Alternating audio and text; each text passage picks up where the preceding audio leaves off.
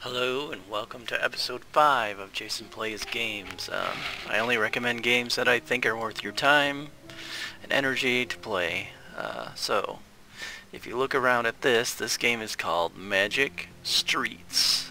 Um,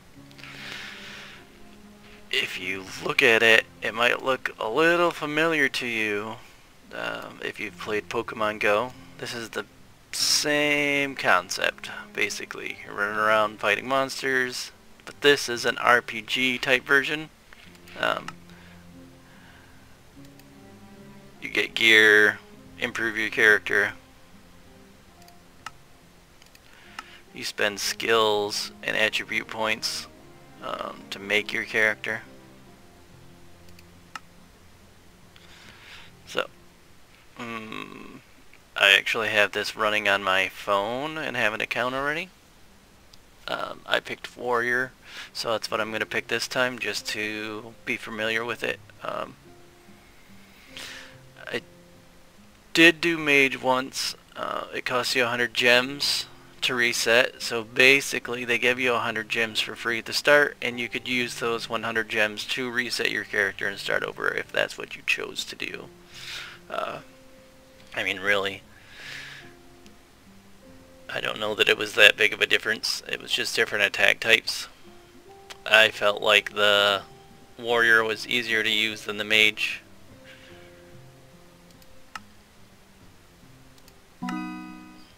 So when I was looking at the mage and warrior, they had similar skill trees. They both had an ability that did damage. They both had a thing to increase your armor. They both had this part of the tree was the same, increase your health, increase your mana, um, accuracy. So, like they get different attack abilities here, and then down here changes. Um, these are abilities for groups, so how often you're really going to play in a group, I don't know about that. Uh, there are raids, just like uh, the other game.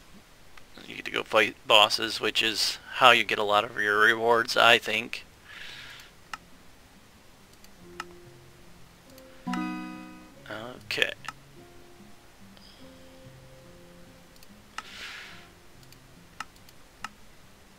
Do we have any skill points? None.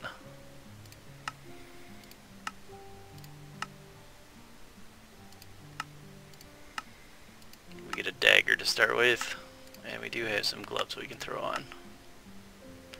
So this is a resource. Eventually you're going to build a settlement. Um, I chose to build mine near my house. You can choose to build your settlement anywhere and then you just travel to it. So something I did notice later when I was playing, see these little icons here? How that's different than this just attack? So they have hostages. So if you fight these battles, you're rescuing people and they're coming to live at your settlement and that's how you increase your settlements. Oops, gotta give it a name. My town. Yes, build here. I'm not gonna go through it because it kind of teaches you how to do it. Just gonna kind of go through a fight and show you kind of how it works a little bit. Um, so you wander around your town, your actual town in the real world, and you can go to these different areas. Uh, eventually, oh, you can do it now. So, you can build towers for this resource type So I built a tower at my current location, but you can move it.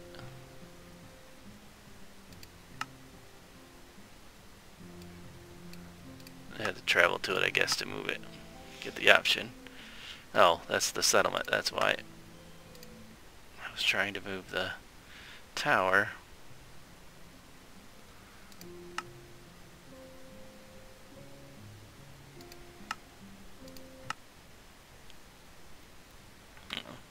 Well, it just so happened I built it right on top of my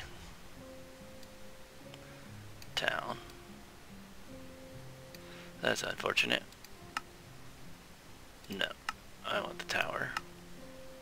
There it is. Watchtower. Then you, it doesn't cost anything to move, and you can move it where you want to. So, you can move it actually anywhere that you can see. So, in a way you can use it to travel around without actually walking. So we're going to move it right next to this resource here just so I can show you. Actually, I'll move it here to next to this guy because I already showed a resource. So I think this is a quest guy.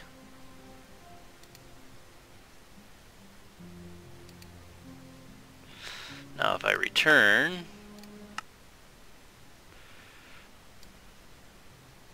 see that tower is all the way over there now.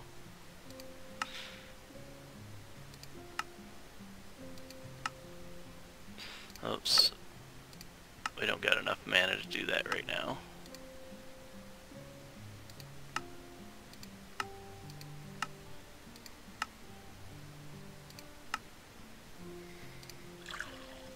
There we go. So these cost your mana.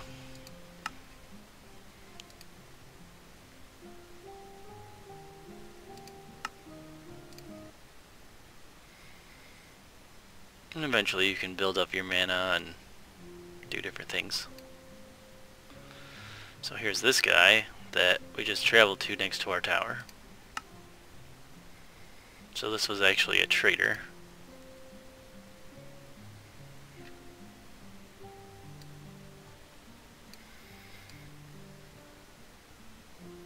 And I'm probably going to buy something from him because we have just a little dagger. He's got some nice stuff, but look at how much coins it costs also. And we have 100.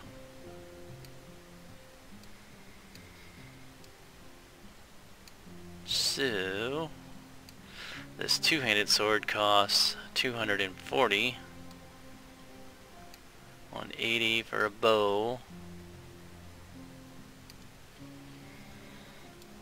And it does 18 damage, 12 damage, 12 damage. 16 damage for the shuriken. 18 damage with the two-handed sword. So, I don't know that we can even get enough to...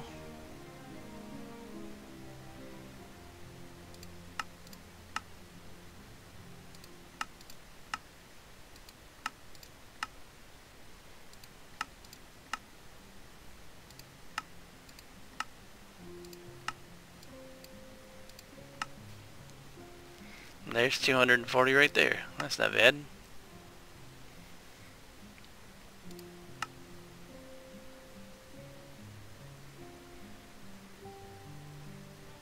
So they have different ranks. See the stars. Where did that two-handed sword go? That'll help us move along a little bit. Alright. So back to our inventory and equip the new sword. It didn't even do that much more damage.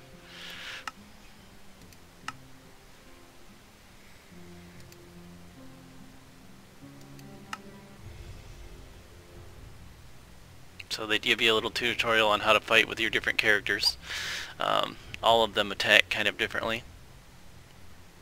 And I'm using BlueStacks, and for some reason BlueStacks makes my character weirdly black outlined like that. Usually you actually get to see your character and the armor that they're wearing. I don't really know why it's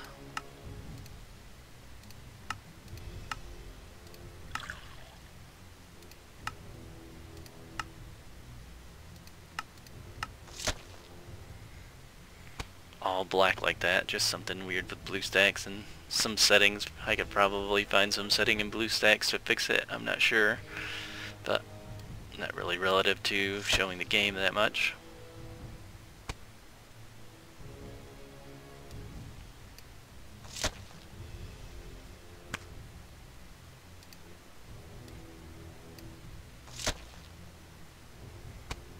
It's actually a really hard fight to start with. And you don't get that many potions at the beginning of the game. So, I'm actually not sure what happens if you die either. I've never actually seen it.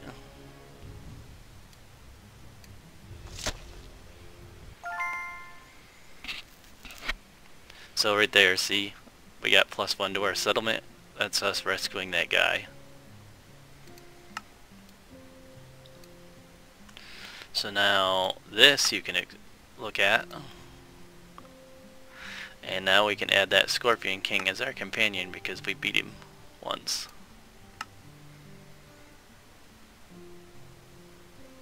And these are all your undiscovered guys. It goes through and shows you a little picture of all the little guys in the game.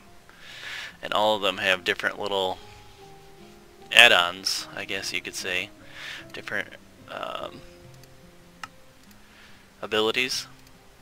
So, and you have to collect more of them to level them up. So, see how it skips to level 3? So when he hits level 3, he would gain this ability.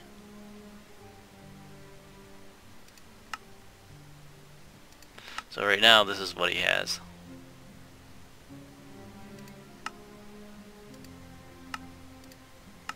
So if we go fight,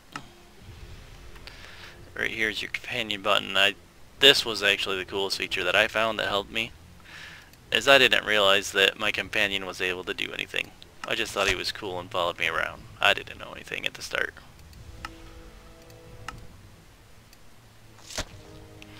And that really helped because you only have a, just that set amount of health and you regen really slow. So, being able to kill a lot of the guys in one round really saves your life totals.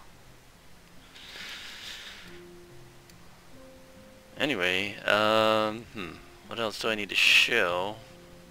Uh, showed settlement, got some gold, shopping, but uh, a lot of these things are just things you got to discover. There's uh, dungeons that you can do. That right there is a boss fight. If you go to that, you can do a boss fight with other people. Um, if everyone's, what I found was that there's different bosses that were more popular.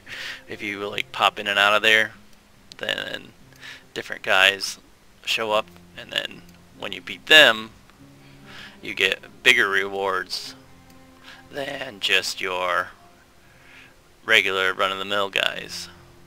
So, I don't know. Give it a look. It's worth your time. Um, one of the things that I do think was worthwhile Let's see if it shows it. This.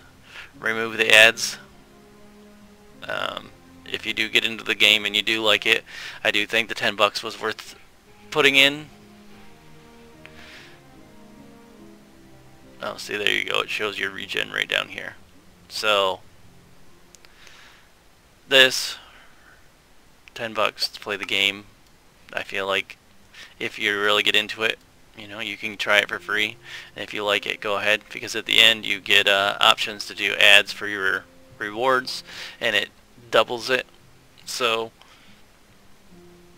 oh sorry excuse me. Definitely think the game's worth your time. You should check it out especially if you enjoyed uh, Pokemon Go. As always thanks for watching and check out my other videos